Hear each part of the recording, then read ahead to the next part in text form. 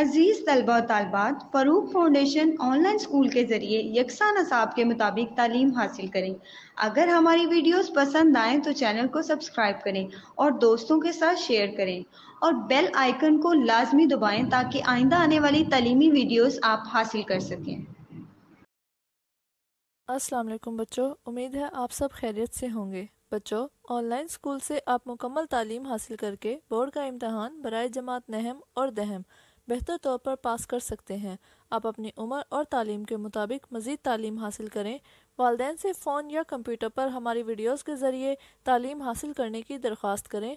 रोज़ाना एक से दो घंटे ऑनलाइन पढ़ाई करें और जब आप स्कूल जाएँगे तो आपको मज़ीद किसी मदद की ज़रूरत नहीं होगी। इस तरह पढ़ाई करके अपना वक्त और वालदेन के अखराज में बचत कर सकते हैं। ऑनलाइन स्कूल की कोई फ़ीस नहीं है। आप जूम पर भी क्लासेस का फ़ायदा उठा सकेंगे। हर मजमून की मुकम्मल तालीमी वीडियोज़ मौजूद हैं। आउज़बिल्लिनशैतानरजीम बसमीम डियर स्टूडेंट्स अस्सलाम वालेकुम आप सब कैसे हैं? उम्मीद करती हूँ कि आप सब ठीक होंगे हैरियत से होंगे, और अपने लेक्चर्स को बाखूबी जो है वो अच्छे तरीके से सुन रहे होंगे और अपने इम्तहानात को बेहतर बना रहे होंगे। जिस स्टूडेंट्स, हमने पिछले चैप्टर्स में दावत और तबलीग के बारे में पढ़ा था, जिसमें आप सल्लल्लाहु अलैहि वसल्लम की, अल्लाह ताला के हुक्म से जो वही नाजिल की गई थी, उसके बाद अल्लाह का जो पैगाम था, मुसलमानों तक पहुंचाना, वो अल्लाह के नबी की ज़िम्मेदारी थी। और अल्लाह के नबी ने इस ज़िम्मेदारी को बाखूबी सर अंजाम दिया। ये पिछले चैप्टर्स का रिव्यू मैं इसलिए आपको दे रही हूँ, क्योंकि उसका ताल्लुक़ जो है वो हिजरत हबशा से है। हज़रत हबशा को शुरू करने से पहले, आपको पता है कि जब आप सल्लल्लाहु अलैहि वसल्लम ने अल्लाह ताला का पैगाम लोगों तक पहुँचाया तो लोग जो है वो आपके जानी दुश्मन हो गए। ठीक है, कुरैश मक्का, आपको तरह तरह की तकालीफ़ जो है वो उन्होंने दी, लेकिन उसके बावजूद आपकी जो हिम्मत थी, हौसला था, उसको शिकस्त ना दे सके। जी स्टूडेंट्स तो हम बात कर रहे हैं दावत व तबलीग की। तो जब अल्लाह के नबी मक्का मुकरमा में दावत दे रहे थे तो वहाँ पर जब आपको मुश्किलात पेश आईं तो अल्लाह के हुक्म से आपने वहाँ से हिजरत की। ठीक है? अब इसी मकासद के लिए जब और सबसे अहम बात जो हम डिस्कस करते चलें वो ये थी कि आप सल्लल्लाहु अलैहि वसल्लम को अल्लाह ताला जो हुक्म देते थे, उसके बिल्कुल एन मुताबिक आप उस पर अमल करते थे। तो यहाँ पे भी इस चैप्टर को याद करने से पहले, इसको समझने से पहले, ये हमने पिछले चैप्टर का रिव्यू लिया है। तो जो आपको दावत दावत इस्लाम के दौरान जो है मुश्किल पेश आने पर अल्लाह के हुक्म से जो आपने हिजरत की है, उसके बारे में हम पढ़ने जा रहे हैं। सबसे पहले हम यहाँ पर दुआ पढ़ लेते हैं।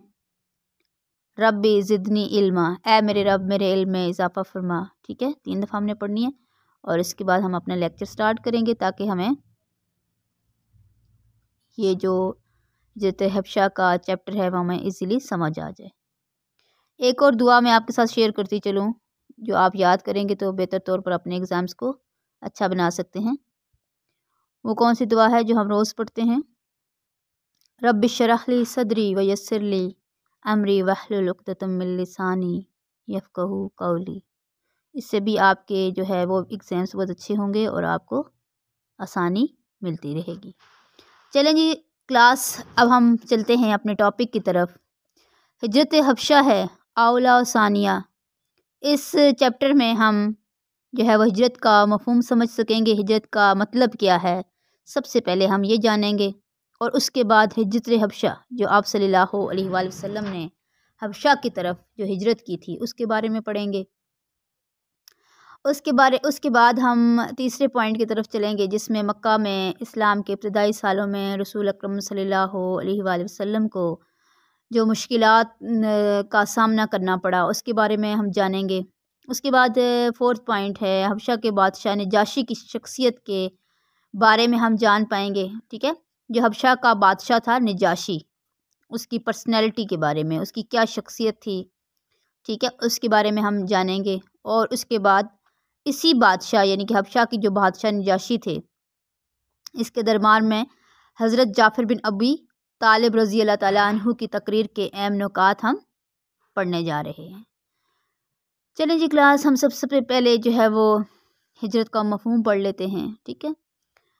तो सबसे पहले मैं रीडिंग करती हूँ। आप कोर्स सुनिएगा और उसके बाद हम इसकी एक्सप्लेनेशन की तरफ़ जाएँगे। चलें जी क्लास। अल्लाह ताला की खातिर और अपने दीन की हिफाजत के लिए घर बार छोड़ने को हिजरत कहते हैं। हिजरत हबशा से मुराद वो हिजरत है जो साबा कराम रज़ी अल्लाह तम ने मक्का मुकरमा से हबशा की तरफ़ की थी। हबशा अरब के जनूब में बहराए अहमर के दूसरे किनारे पर वाक़ है। आजकल ये इलाका इथोपिया कहलाता है। ये देखें, ब्लू बॉक्स, ये भी पढ़ना बहुत ज़रूरी होता है, इसको भी हम पढ़ लेते हैं। हबशा बर अफ्रीका का मुल्क है। बर अफ्रीका का मुल्क है, ठीक है, हबशा। ये आपको पता होना चाहिए कि कौन से बर अज़म में वाक़ है, यानी कि अफ्रीका में। अच्छा जी, सबसे पहले हम बात करते हैं कि अल्लाह ताला की खातिर, ठीक है? और अपने दीन की हिफाजत के लिए अपने घर बार को, अपनी खा, अपने ख़ानदान को छोड़ना जो है वो हिजरत कहलाता है। हिजरत का मतलब भी यही होता है क्लास, आसान अल्फाज में कि एक जगह से दूसरी जगह जाना, ठीक है? लेकिन वो किस मकसद के लिए जाना? वो अल्लाह ताला की खातिर, यानी कि अल्लाह के हुक्म के मुताबिक जाना, ठीक है? और अपने दीन की हिफाजत के लिए, इस्लाम की खातर अपने घर बार को छोड़ना जो है वो हिजरत कहलाता है। हिजरत हबशा से मुराद वो हिजरत है। अब लेकिन हम हिजरत हबशा के बारे में पढ़ रहे हैं। अब हमने अभी जस्ट हमने अभी हिजरत के बारे में डिस्कस किया है कि हिजरत किसे कहते हैं। अब इसके बाद जो है वो हम हिजरत हबशा से मुराद जो है वो उससे मुराद ये देखेंगे कि क्या मुराद है, ठीक है?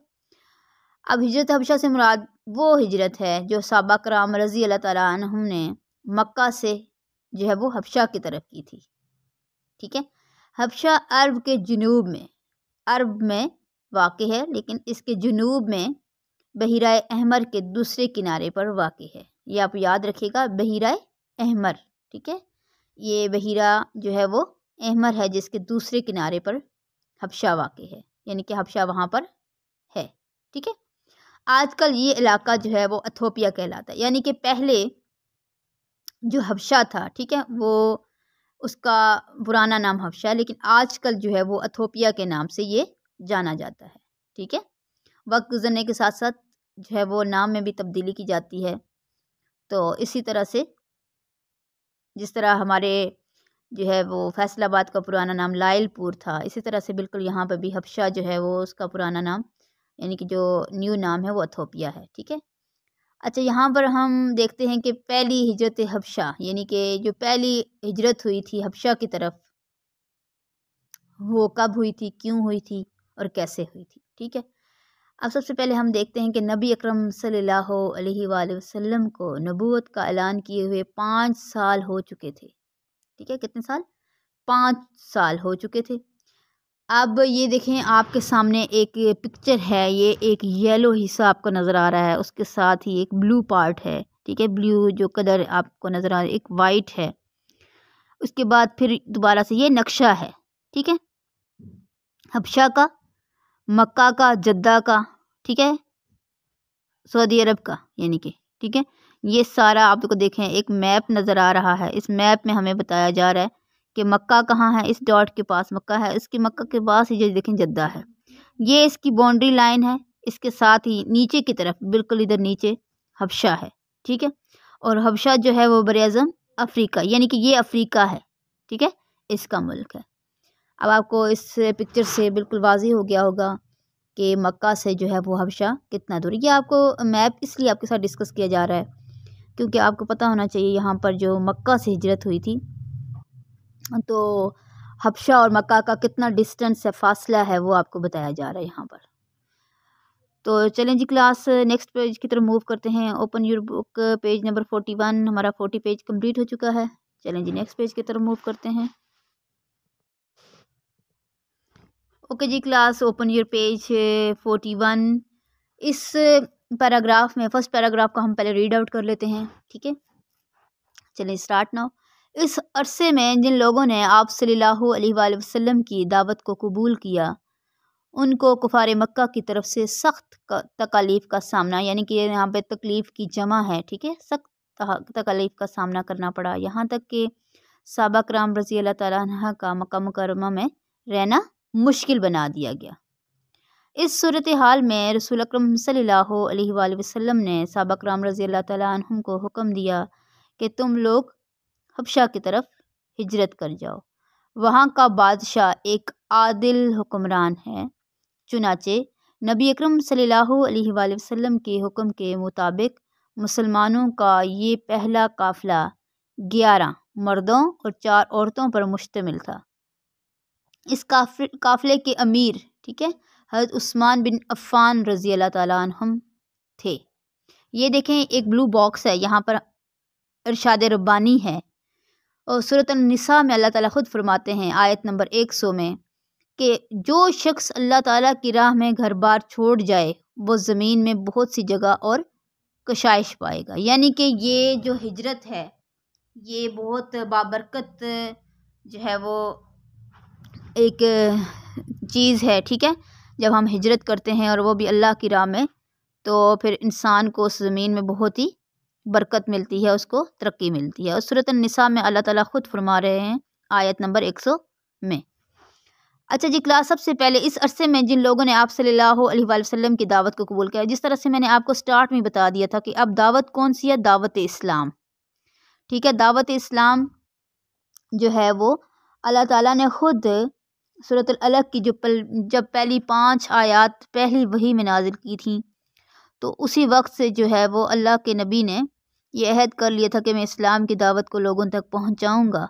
तो जब आपने ये अपना मिशन शुरू किया तो फिर कुफार मक्का, जो मक्का के कुफार थे, उन्होंने आपकी सख्त जो है वो उन्होंने आपके साथ सख्त दुश्मनी के साथ जो है वो आपके साथ पेश आए और सख्त तकालीफ़ का सामना भी आपको करना पड़ा। लेकिन यहाँ तक कि सबा कराम रज़ी अल्लाह का वहाँ पर रहना जो है वो मुश्किल बना दिया गया। किसने? कुफार ने बनाया, ठीक है? और इस सूरत हाल में रसूल अक्रम सल्लल्लाहु ने सबा कराम रज़ी अल्लाह को हुक्म दिया कि तुम लोग हफ्शा की तरफ़ हिजरत कर जाओ, ठीक है? ज़ाहिर सी बात है, मक्का में जो कुफार थे, उन्होंने आपको बहुत तंग करके रखा हुआ था। जो है, मुश्किल ज़िंदगी उनकी मुश्किल बना दी थी, ठीक है? मुश्किल से दो चार होना पड़ रहा था। तो इस वजह से जो रसूल अकरम सल्लल्लाहु ने सबा कराम को हुक्म दिया, उनसे कहा कि आप जो है, वो हफ्शा की तरफ़ चले जाएँ। अब वहाँ पर क्यों चले जाएँ? क्योंकि वहाँ का बादशाह एक आदिल। आदिल का मतलब होता है इंसाफ करने वाला, जो कभी किसी के साथ ज़्यादती नहीं करता। आदिल होता है, इंसाफ पसंद होता है। और वहाँ का बादशाह कौन था? निजाशी था। चिनाचे, अब ऐसा हुआ कि नबी अकरम वसल्लम के हुक्म के मुताबिक जो है वो मुसलमानों का जो पहला काफ़िला, ठीक है? जिसमें ग्यारह मर्द शामिल थे और चार ख़वातीन शामिल थीं। ये काफ़िला जो है कहाँ से कहाँ गया? मक्का से हबशा की तरफ़, ठीक है? इस काफ़िले के अमीर, यानी कि जो जो जो आप, जिसके हाथ में आपकी जो है वो, आप कह सकते हैं कि बाग दौड़ होती है, ठीक है? जो आपका लीडर होता है, इस काफ़िले के जो लीडर थे, अमीर थे, वो हज़रत उस्मान बिन अफ़ान रज़ी अल्लाह ताला थे। ये आपने याद रखना है, अंडरलाइन कर लें इसको। ये बड़ा अहम पॉइंट है हमारे पास हज़रत उस्मान बिन अफ़ान चलें जी, अब आपको बिल्कुल क्लियर हो गया होगा। कि जब, अब हम इसके मेन पॉइंट्स की तरफ़ चले जाते हैं कि जब अल्लाह के नबी ने इस्लाम फैलाना शुरू किया तो कफ़ार ने आपको बहुत सख्त जो है वो परेशानी से आपको दो चार किया, लेकिन उसके बावजूद आपने जो है वो अपने सहाबा कराम को हफ्शा की तरफ़ हिजरत करने का हुक्म दिया। उसमें वहाँ का बादशाह जो था, निजाशी था और पहला जो काफ़िला था, वो ग्यारह मर्दों, चार औरतों पर मुश्तमिल था और इसकी जो बागदौड़ थी, वो किसके हाथ में थी? हज़रत उस्मान बिन अफ़ान रज़ी अल्लाह के हाथ में थी। चलें जी, अब ये थी पहली हिजरत हफ्शा यानी कि जो पहली हिजरत हुई थी हफ्शा की तरफ़, ये हमने उसके बारे में पढ़ा है। अब हम चलते हैं। जी, क्लास, अब हम दूसरी हिजरत हबशा के बारे में पढ़ेंगे, ठीक है? हबशा में ये अफवाह फैल गई कि कुरैश के सरकर्दा लोगों ने इस्लाम कबूल कर लिया है। इस अफवाह की वजह से हबशा की तरफ़ हिजरत करने वाले बाज़ मुसलमान वापस आ गए। मक्का मुकरमा पाँच पहुँच कर उन्हें मालूम हुआ कि अफवाह झूठी थी। कुफार के जुम्न सितम में रोज़ बरोज़ इजाफ़ा हो रहा था, जिसकी वजह से मुसलमानों की एक बड़ी तादाद ने हबशा की तरफ़ दोबारा हिजरत करने का फ़ैसला किया। इस काफ़िले में तिरासी मर्द और उन्नीस औरतें शामिल थीं। ये लोग हबशा पहुँच कर न्याय सुकून और इतमान से रहने लगे। यहाँ वो आज़ादाना तरीके से इबादत करते। मशरकिन मक्का के लिए मुसलमानों का हबशा में सुकून और इतमान से रहना नाकबिल बर्दाश्त था। उन्होंने मुसलमानों को वापस लाने के लिए नजाशी के पास एक वफ़द भेजा। ये वफ़द दो अफराद पर मुश्तमिल था। वफ़द ने नजाशी को कहा कि, ये लोग बेदीन हो गए हैं। आप इनको हमारे हवाले कर दें। अच्छा जी, क्लास अब यहाँ पर हम दूसरी हिजरत हबशा के बारे में पढ़ने जा रहे हैं। जब मुसलमानों ने जो है वो दूसरी हज़रत हबशा की तो क्या क्या हालात वाक़ात थे, इसके बारे में हम पढ़ेंगे। सबसे पहले बात होती है कि अफवाह का मतलब होता है कि या झूठी या सच्ची बात, जिसके बारे में आप को हंड्रेड परसेंट श्योर नहीं होता कि ये सच्ची बात है, ठीक है, वो अफवाह होती है, ठीक है। तो जब अबशा में जो अफवाह फैल गई कि कुरैश के सरकर्दा लोगों ने इस्लाम कबूल कर लिए। अब इस अफवाह की वजह से, झूठी खबर की वजह से हबशा के की तरफ़ हिजरत करने वाले बाद मुसलमान वापस आ गए। अब मक्का पहुँच कर उन्हें मालूम हुआ कि यह अफवाह झूठी थी। अब कुफार के जुल्म सितम जो थे, वो रोज़ बरोज़ यानी कि वो बढ़ रहे थे, जिसकी वजह से मुसलमानों की एक बड़ी तादाद ने हबशा की तरफ़ दोबारा हिजरत करने का फ़ैसला किया। अब इस काफ़िले में, जिस तरह पहले काफ़िले में ग्यारह मर्द और चार ख़वातीन शामिल थी, इस काफ़िले में कितने मर्द शामिल थे? तिरासी मर्द शामिल थे और उन्नीस ख़वातीन शामिल थी। अब क्या हुआ क्लास कि ये लोग जो है, वो हबशा पहुँच कर न्याय, खुशी के साथ, सुकून के साथ रहने लगे और अपनी इबादत में भी मसरूफ़ रहे। लेकिन क्या हुआ? फिर यहाँ के कुफार को ये बात जो है, वो अच्छी नहीं लगी। उनको ये बात हज़म नहीं हुई। और ये जो है लोग सारे निजाशी के पास पहुँच गए। वहाँ पर वफ़द का मतलब होता है, वफ़द का मतलब होता है यानी कि दो तीन अफराद पर मुश्तमिल एक जो है वो ग्रुप भेजना, ठीक है, जो आपकी बात को आगे जाकर पहुँचाते हैं, पैगाम देते हैं। उन्होंने कहा कि ये लोग बेदीन हो गए हैं, आप इनको हमारे हवाले कर दें। अब वहाँ का जो निजाशी बादशाह था, कहाँ का? हबशा का, ठीक है? वो इंसाफ पसंद था अदल करने वाला था। उसने एक तरफा फ़ैसला देने के बजाय जो है वो मुसलमानों की बात सुनने के लिए फ़ैसला किया। अच्छा चलें, पहले ये रीडिंग कर लेते हैं, ठीक है? अब देखें, लिखा हुआ है कि नजाशी एक इंसाफ पसंद हुक्मरान था। उसने एक तरफा फ़ैसला देने की बजाय मुसलमानों की बात सुनने का फ़ैसला किया और उन्हें दोबारा जो है वो क्या, कहाँ भेजा? दरबार में भेजा, ठीक है? मुसलमानों ने जब जाफ़िर बिन अबी तालिब को तर्जमानी का फ़र्ज़ सौंपा तो आप रज़ी अल्लाह ने नजाशी के सवाल पर ये बातें कही कि, ऐ बादशाह, हम जाहिल हैं। जाहिल थे, ठीक है? ऐब हैं नहीं, ठीक है? सॉरी बुतों को पूछते थे, मुर्दार खाते थे, बुराइयाँ करते थे, ठीक है? रिश्तेदारियाँ तोड़ते थे। अब यहाँ पे कहने का उसका, उनका ये मकसद है कि जब निजाशी के सामने आपको पेश किया गया तो निजाशी ने एक तरफा फैसला नहीं सुना, बल्कि एक तरफा बात नहीं सुनी। किसकी? मक्का के कुफार की, मुशरकिन की। बल्कि उसने, निजाशी ने मुसलमानों की बात भी सुनी और उन्हें दरबार में बुलाया। और फिर मुसलमानों के जो जो हेड थे, वो कौन थे? जाफिर बिन अबी तालिब, जो उनकी बात को आगे पहुँचा रहे थे, तर्जमानी कर रहे थे। उन्होंने कहा कि, बादशाह ए बादशाह, हम जायल थे, बुतों को पूछते थे, इबादत करते थे, मुर्दार खाते थे, गलत काम करते थे, बुराइयाँ करते थे, रिश्तेदारियाँ तोड़ते थे, ये सारे काम हम जो वो इस्लाम आने से पहले करते थे। ठीक है? चलें जी, हमारी बुक का page number forty one complete हो गया है। नेक्स्ट पेज की तरफ़ चलते हैं।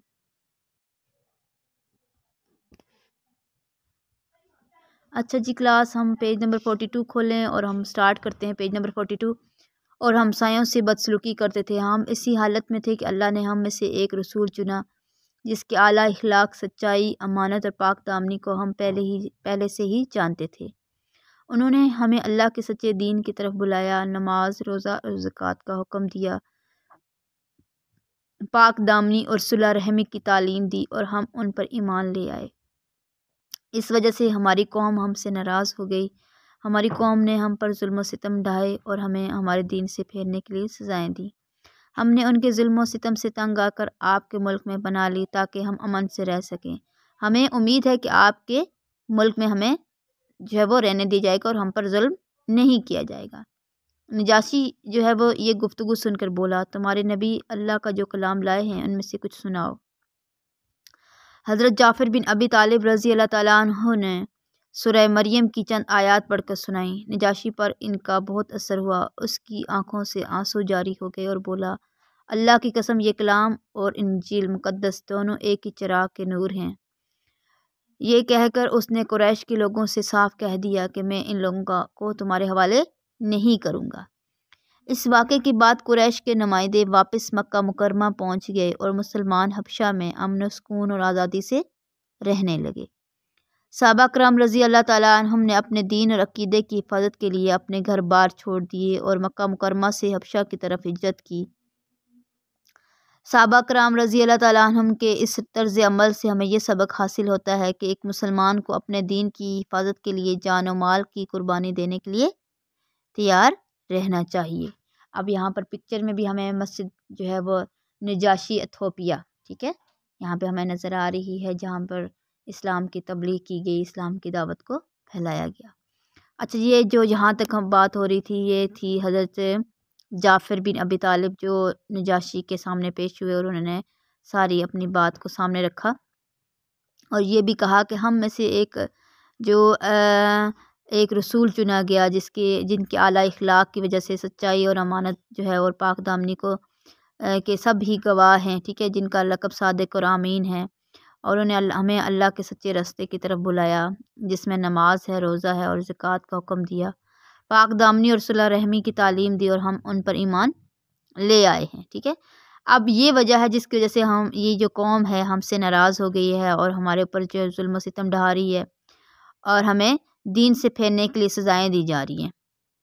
आप ऐसा करें यानी कि नजाशी जो बादशाह थे उनसे कहा कि आप ऐसा करें कि आप आप अपने मुल्क में हमें पना दें जगह दें ताकि हम यहाँ पर आ, आ, आ, अपनी ज़िंदगी को जब इस्लाम के मुताबिक जो है वो गुजार सकें। अब नजाशी ने जब ये गुफ्तु सुनी, ठीक है जाफ़िर बिन अबी तालिब की तो फरमाया कि अल्लाह का जो कलाम है, ठीक है, उसमें से मुझे भी कुछ पढ़ कर सुनाएँ।